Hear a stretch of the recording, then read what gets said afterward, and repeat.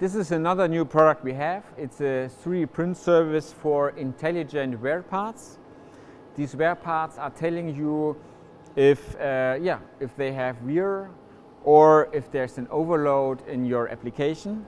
How is this done? Uh, it is printed out of two different plastics. The white one is our 3D printing material, which is also a bearing material with the wear resistance up to 50 times better compared to regular printing materials. And the black material is a conductive material where we are measuring the resistance all the time. And yeah, because of the difference, we know the bearing is wearing down so that you're going to need to switch it within the next weeks.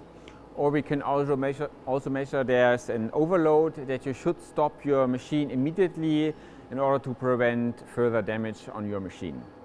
We are starting now with the beta test, so please contact us if you want to have free parts so that you can test it in your own machine.